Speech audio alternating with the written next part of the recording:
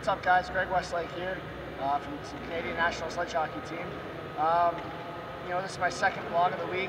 Uh, not the most exciting one, I, I know, but uh, we've had a really busy schedule here, so I do have some exciting stuff coming up, uh, so keep checking in. Uh, just here in front of the Samsung uh, logo, they, I, I, had a really cool experience with them yesterday after the game. we set up notes from home.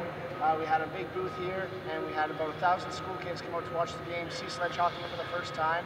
And the Notes from Home is a really cool campaign that Samsung's done. And basically, you can send messages to all the athletes going to Sochi, so that when we're over there, we have a hometown advantage. So, you, know, check out their Twitter, see where the booth's going to be, uh, see if you can send it in online, and uh, basically, we'll get your messages, we'll get your notes when we're over there in Russia, and uh, it'll be a great experience for us to uh, have that home field advantage when we're all the way over there.